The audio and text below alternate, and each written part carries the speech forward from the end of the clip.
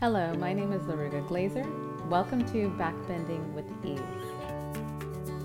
This course was designed to offer principles in backbending to find more support and integrity in the practice of backbends. The way that you can use this course is to follow the tutorials first and to get a better understanding of the specific backbends that we have in the tutorials or in the program and then from there, you can take the tips from the tutorials into the guided class.